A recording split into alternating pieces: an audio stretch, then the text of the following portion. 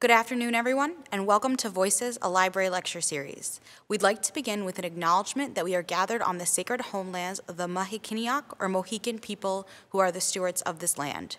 Today, the community resides in Wisconsin and is known as the Stockbridge Munsee Mohican Nation. We pay honor and respect to their ancestors, past and present.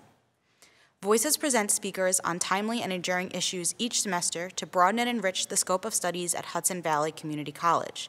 Please fill out a survey at the link on our homepage to help inform our future programming. Today, Voices presents Brittany McAndrew, Business Development Executive for Upstate Tiny Homes. McAndrew's work draws on her personal experience with tiny living all over the world. Brittany is well known for her ability to navigate the legal and mechanical challenges posed by government regulation and industry standards.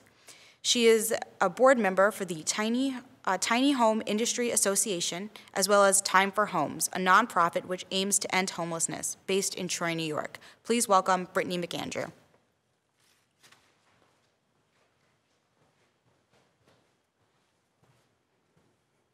Hello, and thank you so much for that warm welcome.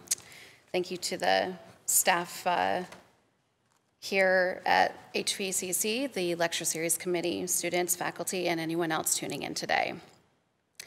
So today I want to address several topics that are related to tiny homes. Um, my plan is to start with the basics, and as we begin to grasp the fundamentals, we'll move on to who lives tiny, how, typical obstacles that uh, focus primarily on New York State, and how to advocate for and legitimize tiny living. There's also a very real need for tiny homes in all forms that I plan on covering with you today. So first, I suppose I should start off by answering the question, what is a tiny home? We've all seen them by now featured on shows like Tiny House Nation, the YouTube channels that show shipping container conversions, earth homes, yurts, off-grid cabins. You may have thought how smart, how cool, how creative, and you also could have been one of those people that thought that those people are crazy. So really, you're all right. um, now, are all of those tiny homes a tiny home has only recently been given a definition. The IRC, or the International Residential Code, defines a tiny home as a dwelling that's under 400 square feet, excluding lofts. Seems simple enough. When I think back to the first time that I heard of a tiny home, it was just about a decade ago. I was in my early 20s. I was in a very different place in my life, and I had been renting a small house in the city of St. Petersburg, Florida. This house was really special, and I knew it. It was one of five small houses on a lovely, flat, palm tree dotted acre and a half. There was a larger main house where an older single woman lived, and she owned the property and the cottages. Each cottage was about 550 square feet. They were all positioned a little bit differently, so no one was on top of anyone. Each property had its own home, or, or I'm sorry, own front porch, back porch, um, separate driveways, and we all respected each other in this quiet little community. It wasn't high end, but I had everything I needed, and it was affordable. I loved that little house, but I knew it wasn't an option to buy. Even if I could, I didn't have any money. not real money, anyway, not down payment and mortgage money. Besides that, I knew I wasn't done traveling, and I couldn't imagine making the commitment that it would take to put down roots or a literal foundation in this one area. There was some, so much more that I wanted to see. But still, I dreamed of owning my, my own tiny home. My plan at the time was to travel across country in a pop-up camper with my then boyfriend and good friend when I came across a YouTube video of a guy building a house that he could tow with him. I had never heard of that before. I thought that was genius. Uh, it had four walls, he was framing it, there were real windows, a roof, a kitchen, a bed, and a bathroom, all on wheels.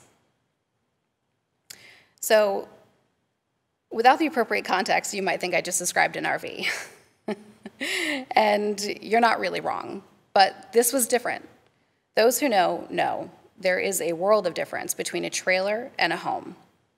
Temporary versus permanent, quality and custom made by your own hands, or at least with the hand in the design process from start to finish, versus a plastic bubble of what can sometimes feel like the inside of a cramped airplane. I'd been in an RV, and don't get me wrong, I see the appeal, but this definitely was different. It felt like a home. I was immediately fascinated and I wanted to learn more, but there wasn't much more to find. Who was doing this? How? In all honesty, in my youthful ignorance, I didn't have the slightest clue how to buy a traditional home or what it really took to maintain anyway. That wasn't something you were taught in school. Owning my own home hadn't even really crossed my mind as something that I could achieve, at least not for a long time. Still, seeing this guy work on his own little home inspired a spark in me that I carry to this day, and was just the beginning of my journey in tiny living and alternative housing. For me, that was the beginning of an education that I hope to share with you here. As it turns out, building my own tiny house on wheels wasn't in my future, but almost every other kind of tiny living was. That relationship I was in didn't last, and shortly after, I found a new opportunity in Lake Tahoe, California, where one of my sisters was living. I put that particular dream on hold, sold everything, packed my life into two suitcases, and flew across country. Going from Florida to California is a big change. Lake Tahoe was a Silicon Valley, uh, a Silicon Valley destination for the uber rich. I had to work twice as hard to afford half as much. But I got lucky again. Where most locals have to share a home or an apartment with three or four more roommates just to be able to afford to live, I found a new little corner to call my own. This time it was a studio apartment above a breakfast cafe in the small village of Kings Beach. And it was tiny. This place was probably only 120 square feet. I had enough room for a futon, a small table, and the kitchenette that had a mini fridge and a two burner hot plate. In fact, I had to step outside of my studio into an adjacent hallway just to get into my bathroom. But from my second story window, through a sparse tree line, I could see the sparkle of gorgeous Lake Tahoe. So the trade off was worth it.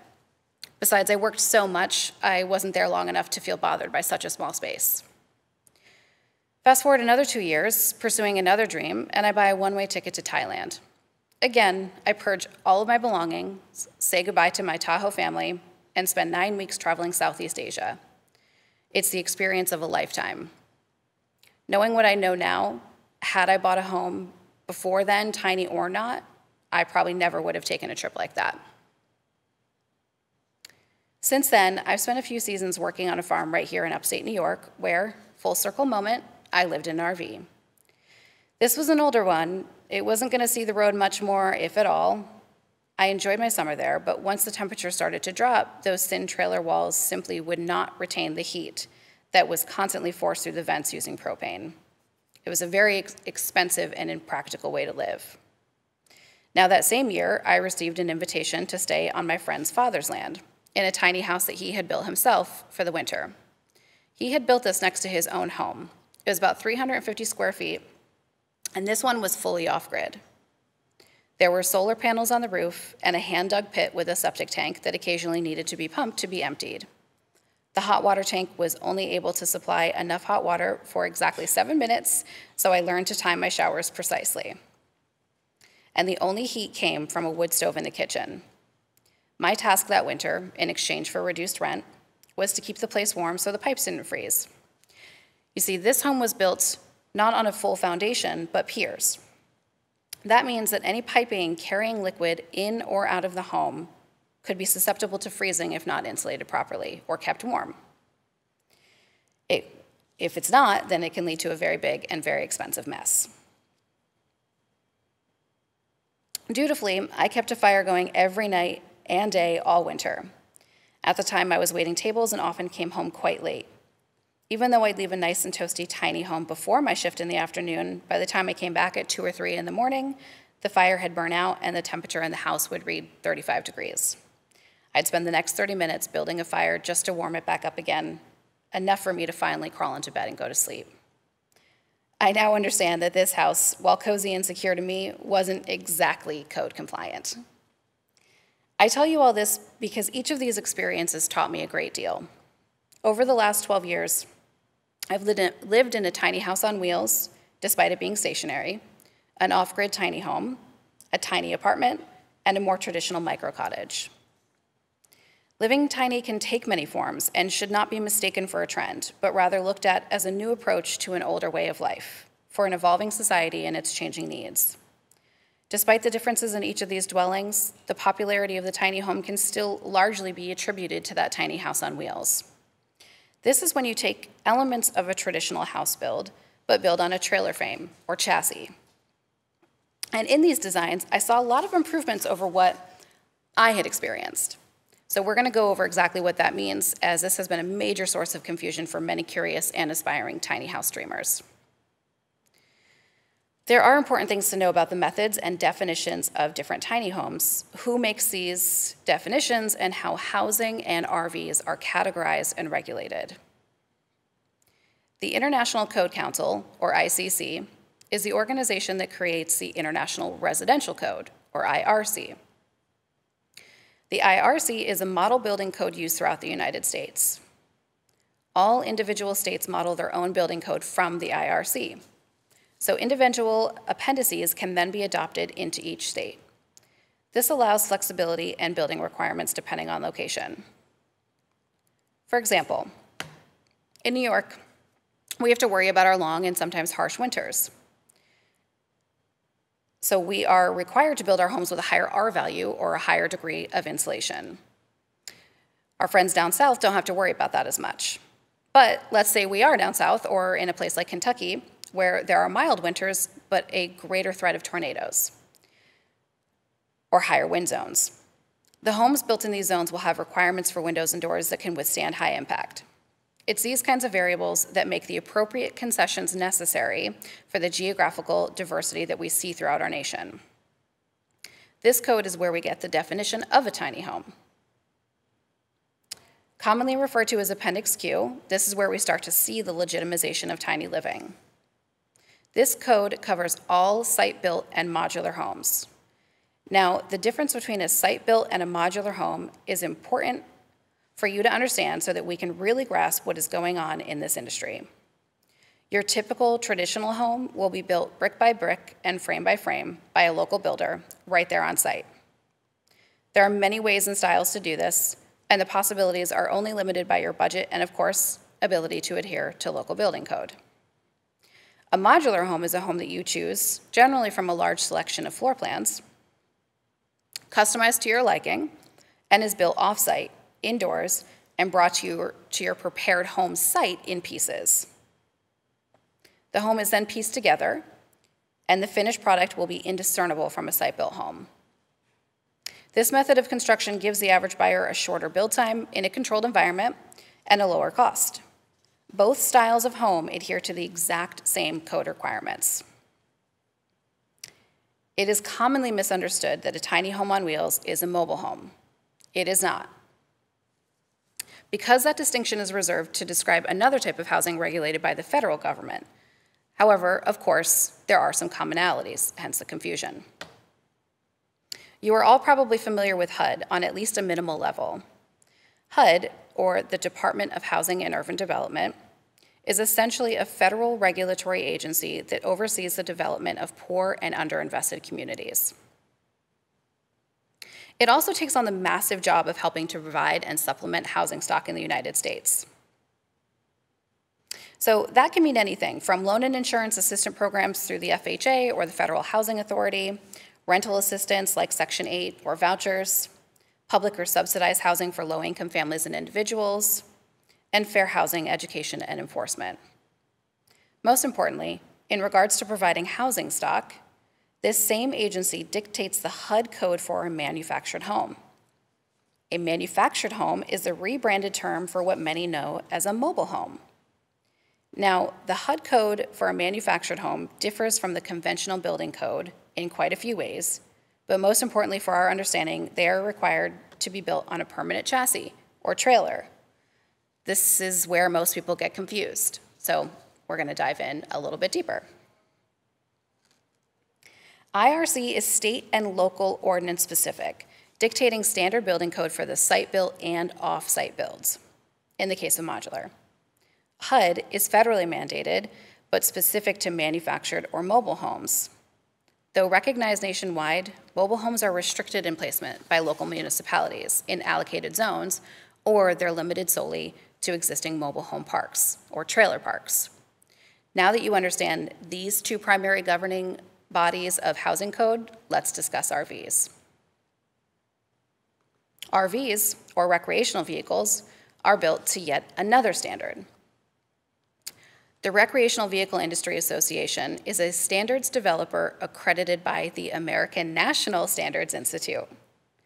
Yes, there is an institute that oversees how standards are developed in just about every industry that you can think of. This is given a kind of build guideline and a standard that any RV builder must meet in order to be certified as an RV manufacturer. There are many classes of RVs from pop-up campers that a small sedan can tow, teardrop campers, toy haulers, all the way to a large drivable rig, commonly referred to as a motorhome. The most common tiny house you've probably seen has been built to RV or park model RV standards. Park model RVs were probably the least popular type of RV before the tiny house trend took off. Park models were designed to be delivered to a site, usually a campground or someone's personal property, perhaps to be used seasonally or recreationally as a hunting camp. Prior to the, prior to the popularization of a tiny house on wheels, these looked almost identical to any other fifth wheel you may see being towed down the road. But they were also often built a bit bigger than a typical tow behind, so they would require oversized permits and semis to tow from the builder to the site. Generally speaking, these units, once delivered, stayed put, often even being connected permanently to septic systems, wells, and electricity. In the Northeast, that usually meant winterizing and shutting down for the winter, as most campgrounds are seasonal. However, once the interest in a movable tiny home became more serious, many were built to the standard road legal size, so the average person can reasonably tow their own home from place to place without requiring special permits, freeing them up to move around the country.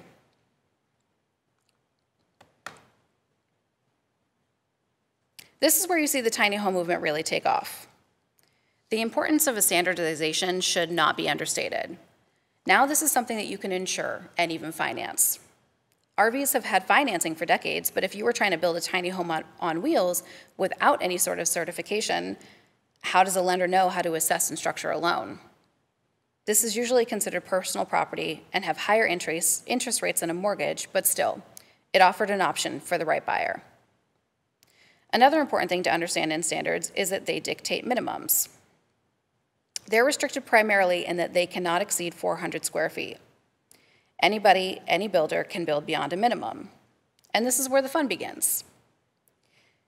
Since lofts and porches don't technically count as livable square footage, you're going to start to see those getting added on. Now, if you take a look here, I'm going to show this is what is this slide here is a trailer or a mobile home, um, now considered a manufactured home. So this is where the confusion is, this is, but this is kind of a typical standard or a typical photo, I would say, of uh, what we know of as a mobile home. Right here, you'll see a park model RV, previous to what uh, you start to see kind of become trendy in the tiny house, the tiny house world. So this is where you start to see builders start to push the limits because while right here this is a park model, now, so is this. And so is this. So is this.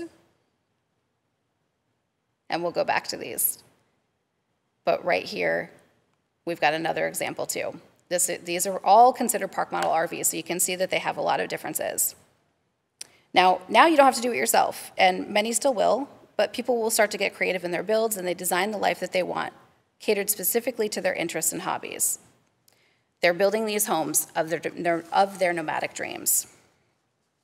When I'm with a client, one of the most important things I have them consider is what they want their dream life to look like. What is most important to you? Do you love to cook? Let's make sure you have a model with a larger kitchen. Play games with family? Do you use your bedroom just for sleeping, or do you love to lounge and watch movies in bed? Do you spend a lot of time outdoors? Are there pets that we need to make room for? All of these prompted questions help people make the most of the space that they have and live the life that they envision for themselves. Most of the tiny homes you see on the road are what I call teeny tinies. To be able to tow anything without special permitting from the Department of Transportation in most states, you have to stay within certain size guidelines. This limits your width to 8.5 feet wide and your height to under 13.5 feet. That means that your average tow behind tiny is going to be about 180 to 240 livable square footage. For the right person, couple, or even young family, the minimalist lifestyle becomes achievable. Custom tiny home builders start popping up all over the country. Companies who have been building RVs start to see the demand less plastic, more tile. Composting toilets and solar panels are integrated, making it easier to be independent and off grid. Tiny home designs have integrated the best of both worlds, using quality construction that you'd expect of a new home, combined with mobility and environmentally friendly build and lifestyle elements. At the same time, alongside what began as the ultimate do it yourself project, born of financial necessity, the modern luxurious tiny home with a not so tiny price tag has also been born. While beyond the reach of some, these Pinterest worthy dreamy homes helped the tiny house movement garner even more attention. They may seem contradictory, but both are important pieces of this puzzle that I'm attempting to put together for you all today. So remember what you just learned IRC, HUD, RVIA. We're going to go back to this later.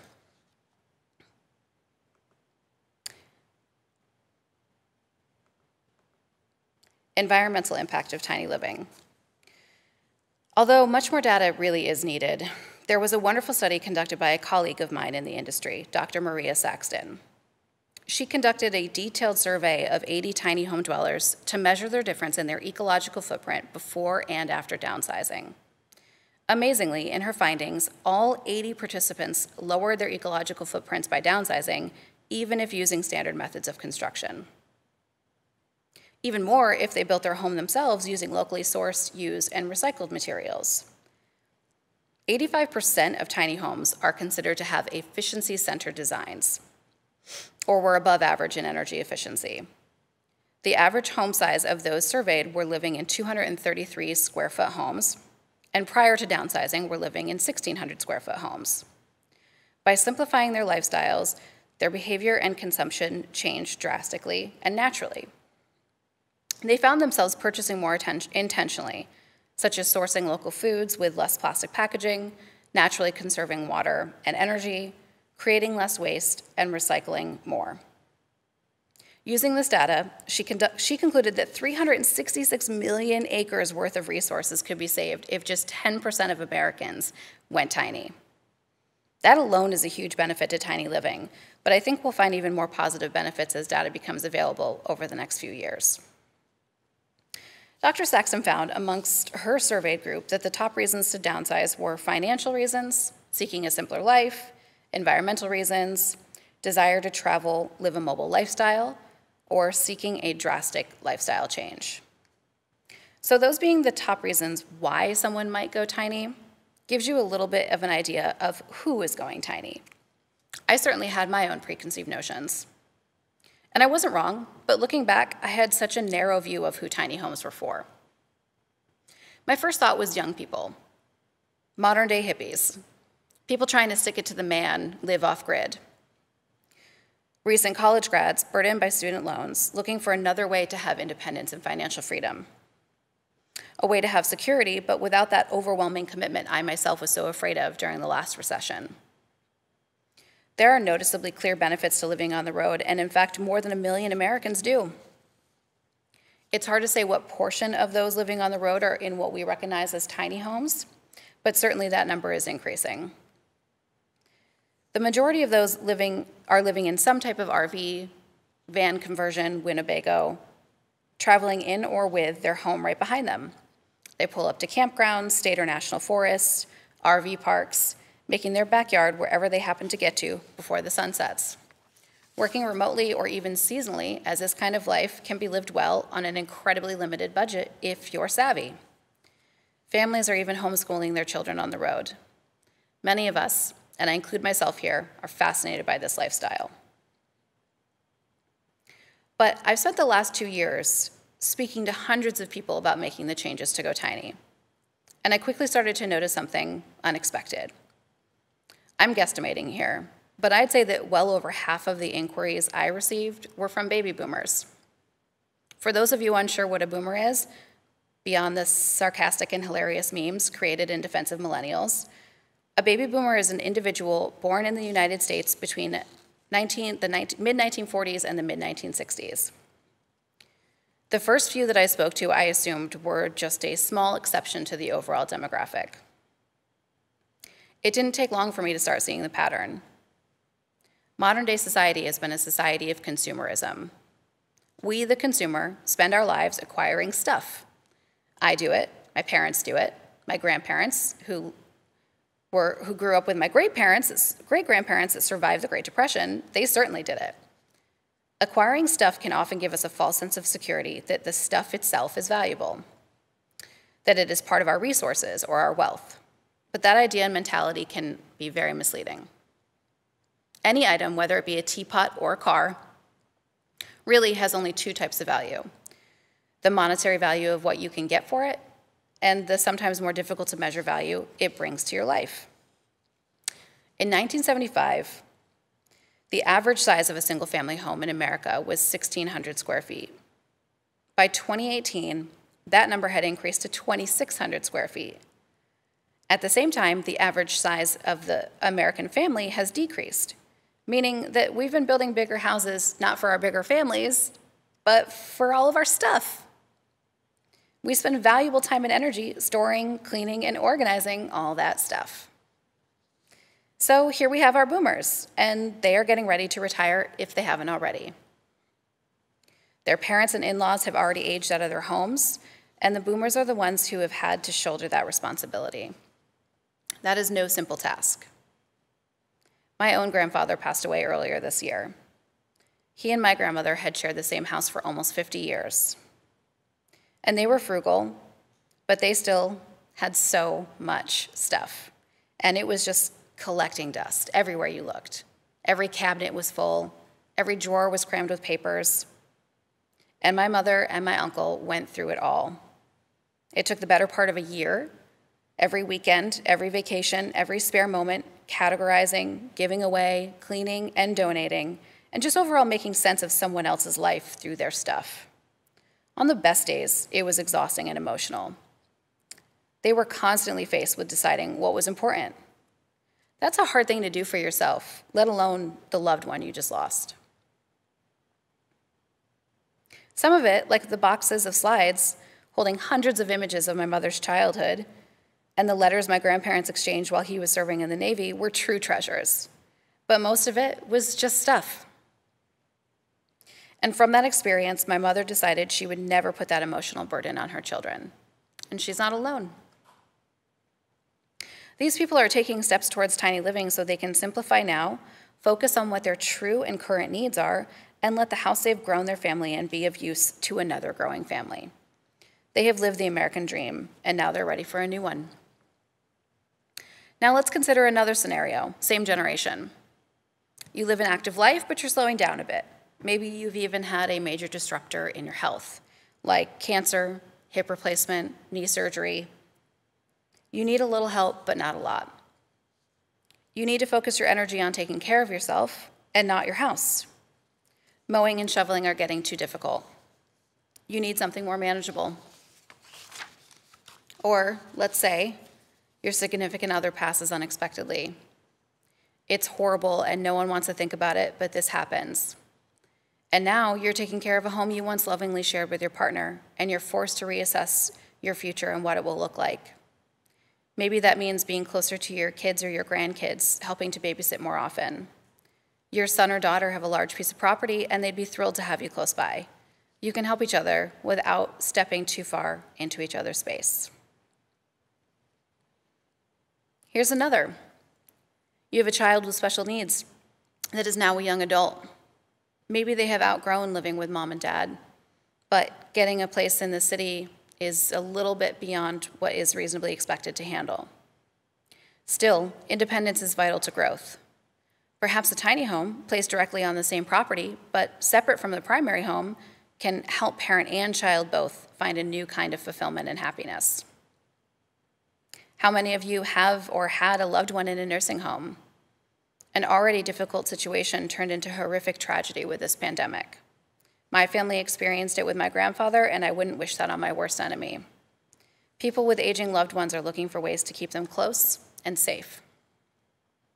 For all of these reasons, it is important to have alternative options to explore in new and unexpected phases of your life. So let's rewind a little. The number one reason people look into going, er, going tiny is financial reasons, or essentially, they're looking for affordable housing. Most of the scenarios that I described before indicate some form of built or inherited wealth. If you have a home to sell, generally speaking, you can then buy a new one. Obviously, that is not the case across the board. My initial idea of who wants to go tiny came from my own experience. I was a young adult, unsure of my place in the world, looking for both stability and flexibility. Not too much to ask, right? It shouldn't be. How can someone find their place in this life without solid ground to stand on? Average rent pricing has increased where average wages have not. Youth experiencing homelessness could fill a city the size of Chicago every year. More than half a million people across the nation are unhoused, 92,000 of them right here in New York State. Clearly a problem already. It has only grown since the COVID 19 pandemic began.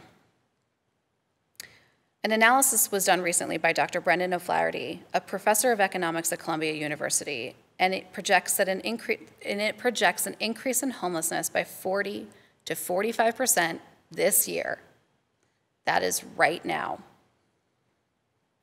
Even those of us living comfortable lives have had to deal with disastrous repercussions. So can we imagine what this must be doing to our fellow citizens living paycheck to paycheck? What about the children who are aging out of foster care? 24,000 children age out of foster care, out, out of the system every year, meaning that once they turn 18, they are completely on their own. 20% of them will become instantly homeless. We're talking about actual children here. And of course, there are our heroes, our veterans. Why are they so often forgotten? They go to war for us only to come home to the same challenges that all of our most vulnerable population face in addition, in addition to the scars of war. Scars that we can't always see. On a single night in January of last year, more than 37,000 veterans were experiencing homelessness. These statistics are alarming.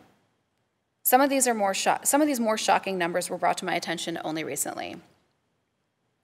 Running Upstate Tiny Homes has connected me with some deeply passionate, intelligent, and empathetic individuals and organizations, and I'm honored to be working alongside them. We have an incredible nonprofit based right here in Troy called Time for Homes. They aim to end homelessness in New York in, by 2025 using a recovery oriented approach with sustainable solutions, and by using the success in New York as a pilot program to roll out solutions nationwide. In my first conversation with the president, James Ryan, he shared his valuable insight to this problem and how they are working to address the root causes. They are not going to slap a band aid on a gunshot wound. That's not going to do it. They understand that these changes must be addressed where they start, not just where they spill over. On my end, I was able to convey the strengths and weaknesses that the tiny home community and industry is experiencing, and I immediately expressed my concern that we may not be where we need to be in terms of accessibility and affordable housing. Right away, he understood and assured me that introducing any housing stock at all is helpful. It alleviates some of the burden that the housing market endures, helping costs remain steady and providing literal room for others to find shelter. Wonderful. Let's get to work. So here we are. We've got some momentum now. A definition, a recognition, a standard to build to, a couple of hit TV shows, plenty of demand and motivation to serve. We're in business, right? Not quite. We can agree that there is definitely some appeal to a mobile and nomadic lifestyle, but that is not the life for everyone. Almost every other example I just laid out were for people looking for something different, but not that different. They want to stay in one place, whether it's for five or 10 or 30 years. And they're looking for a home, something affordable, stable, and safe. Renting doesn't allow you to build equity and can often cost much more than a mortgage, making it more difficult to save for that down payment. Maybe you're a young adult and you qualify for a mortgage, but your limit is only $150,000. The average cost of a home in New York State is almost $350,000, more if you live in the city, closer to three quarters of a million dollars. Even if you do find a home in the range that you can afford, chances are it's not new and will need some work. Maybe right away, maybe a year later, it can be easy in this case, if it's already a stretch for your earning capacity, to buy something that quickly puts you in the position of being house poor. Still, the opportunity to build wealth through homeownership is vital to lifting a person out of the cycle of poverty. So, what does this all mean? How are tiny homes going to help? We've discussed how tiny homes are defined by the IRC, and yet also how most are built to a particular ANSI guided RV standard. Typically, yes, they are built well above the typical RV standard, but still, this classification raises barriers in many places, and probably in particular New York State. When I first began at Upstate Tiny Homes two years ago, I would walk my clients through the process of placing their home. The first few being on property they already own. I'd call the town on their behalf and speak with the clerk first. If you've never tried to get anything done through your town, you should know. Be nice to the clerk. Be nice always, but take extra care here. Often they've been doing their job for many years and can answer any question that you may have. If they don't know the answer, they know who you need to talk to to get the answer.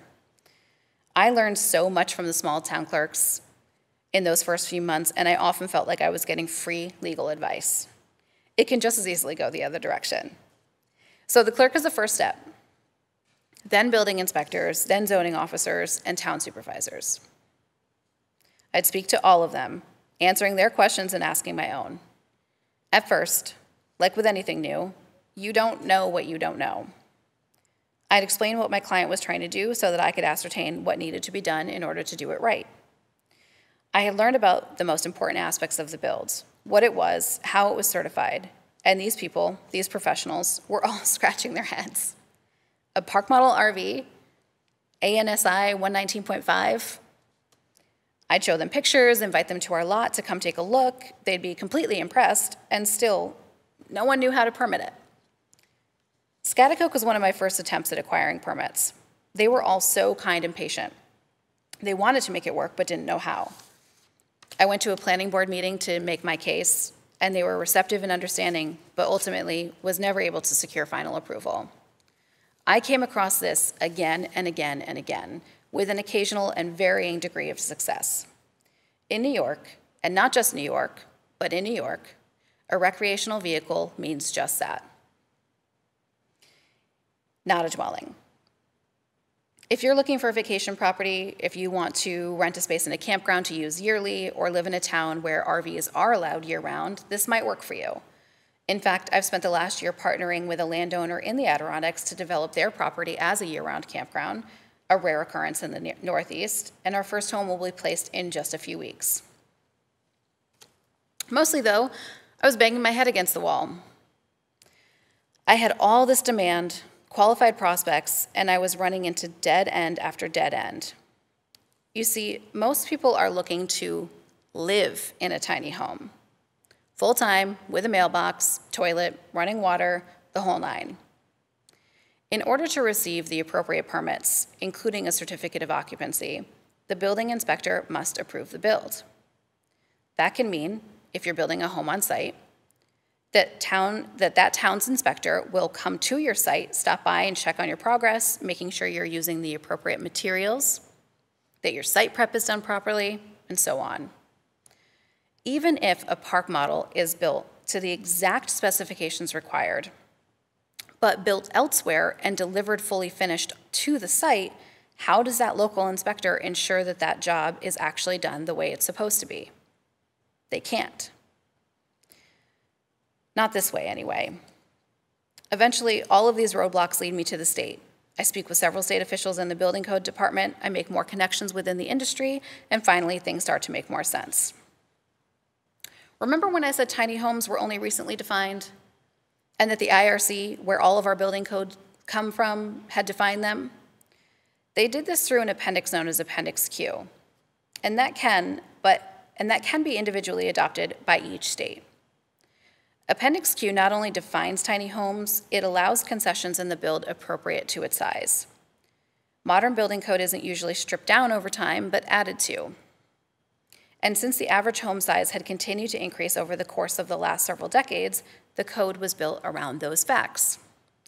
But what is standard for a 2,600 square foot home is actually incredibly difficult to achieve when you start planning a home that is as tiny as three or 400 square feet. This addresses things like smaller staircase builds, ceiling heights, loft landing platforms, and installation requirements. These concessions have several important implications to help expand tiny living as a permanent and permissible dwelling in New York State and anywhere else in the country if it's adopted. So, through my persist persistent search for answers, the state officials and my colleagues, I learned that Appendix Q is up for adoption in New York State in September of 2019. Public comments are welcome, and we are able to submit quite a few additional supportive co comments at the time. Not much later, I am thrilled to learn that it has passed and will be mandated throughout the state sometime in the spring of 2020. And so it became official in May. Finally, a much needed victory. This is big in the tiny world. And we should celebrate every victory, but we're not quite finished. There is still the issue of accountability in a build process and zoning. Now, please understand that I am fully aware of the tiny home roller coaster that I've taken you on, so please let me restore a little faith from a source that may surprise you. I'd like to read you a quote from the HUD website that I came across just before I learned of Appendix Q last summer. On June 25th, 2019, President Donald Trump signed an executive order establishing the White House Council on eliminating, eliminating barriers to affordable housing and named HUD Secretary Ben Carson as its chairperson. The council consists of members across eight federal agencies and engage with state, local, and tribal leaders across the country to identify and remove the obstacles that impede the production of affordable homes, namely the enormous price tag that follow burdensome re government regulations. Research indicates that more than 25% of the cost of a new home is a direct result of federal, state, and local regulations. For this reason, in recent years, the construction of new multifamily and single family dwellings has not kept pace with the formation of new households. The Census Bureau data indicates that from 2010 to 2016, only seven homes were built for every 10 households formed. As a result, Americans have fewer housing opportunities, including the opportunity to achieve sustainable home, home ownership, which is the number one builder of wealth for American families. I share this not to be divisive, but because the relevance is clear. As James Ryan, president of Time for Homes, said to me, the need for housing stock is imperative to addressing homelessness and poverty. Navigating these regulations over the last two years has been frustrating and difficult, but I consider my time invested and returned with the knowledge that change is taking place and will have a domino effect of improving people's lives. And I also admit it's a little validating to see the government acknowledge that it can often get in its own way. It is unclear what this council will um, confirm from this, from this administration. But there are some bright sides, and the, I would like to talk about what the future of tiny homes will look like and how you can help. First, Appendix Q really does make a difference in placing tiny homes. It can it, it, also creates reasonable safety measures, and the leniencies reflected in the new tiny house code create a guide to build a safe and practical home that can still be built to accommodate your personal needs and also be treasured for many years. Because this is now recognized by a housing authority, you'll be able to mortgage a tiny home. That means better access to a variety of lenders, low interest loans, and your investment in a tiny home will be considered real estate, not personal property. You will be liable for taxes, but often a smaller home or parcel means a lower tax assessment as well. So overall, you are still able to build wealth on a slightly smaller scale by investing in your own tiny home. Second, because this has been mandated into the state code, Every town and country has adopted this. Every town and county, sorry, every town and county, that's important. That means when you call to ask about tiny homes, they'll have an idea what to do and how to guide you. The other potential barrier that you may face in building tiny anywhere in the United States is going to be zoning. This is a huge part of the difficulty in placing a tiny home in New York with RV classification. Southern states have quite a few more year round campgrounds already, but there are not so many in the Northeast. The tiny home community at Long Lake took three years to get the appropriate approvals and zoning. Zoning regulations can also dictate the minimum size of a single family dwelling. But already, this has been a race in our capital city of Albany. In some places, it's never been instated at all. The other aspect to understand about zoning are that lo it, for local municipalities and regulations are, are on ADUs.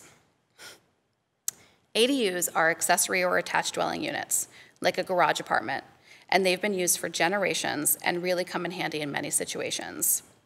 You can bring in a tiny home, affix it to your property, and in many cases even connect to the same utilities that the primary home uses. This can become a rental property or an in-law unit, a guest house, or any other type of housing you may end up needing. In either of these cases, if you come up against restrictions, you can file a variance, essentially asking for an exception in your case. Besides helping you get permission to build tiny, this also gives that town or city the chance to take a harder look at their potentially outdated zoning regulations. Sometimes it's difficult to make a change unless there is a good reason to, and I think you'll find more community support than you might expect. Places like Albany have already taken steps to create more efficient uses of infill lots, which are places within the city that may be too small for a standard home, but could be zoned to accommodate dwellings under 1,000 square feet. This creates more development, homeownership, and community growth important to the revitalization of urban areas. Lastly, I recommend that you use the resources you probably don't even know you have. THIA and ATHA are excellent organizations and are well worth a small membership fee for the educational resources that they offer. Nowadays, every, every town has a website, and so much information is listed right at your fingertips. Zoning minutes and town codes are almost always listed, and with just a little bit of practice, you'll know how to find what you're looking for as quickly as anything you can look up online. Get involved in local politics. I mean it, local. I'd never been to a town board meeting before I started this. These people are making decisions that can affect your life. Don't you want to know what they're about? And it's important that they hear from you.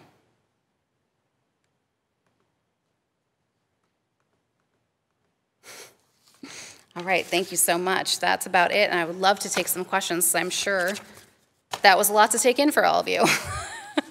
it was a lot for me to write down. Okay, so let's see. We've got some questions here. What advice would you give to someone who is looking to live minimally? Oh, that's a great question. It's really important for you to think about what really matters in your life. I would say, um, picture your dream life. What does it really look like? What's really important to you? When you can purge some of those things that are holding you down, you think about all the time that you spend cleaning or organizing stuff, how often do you really use it? It's important to think about what you can get rid of so that you can make space for the things that really matter in your life. And then the, last question is good. It's what's your favorite thing about tiny living? I actually don't live tiny right now. so I have to say that I wrote this entire thing in my very spacious office, so I'm a little bit of a hypocrite. But I have lived tiny, and I would say that the best thing that I that I really liked about living tiny is that I spent a lot more time outside. I really enjoyed um, going to the beach when I lived in Florida, going to the lake when I lived in Lake Tahoe, um, and of course, when I went to Thailand and I was living out of a backpack, it was certainly a lot easier to just get out and explore. So those are some things that I really appreciated about living tiny. All right, thank you.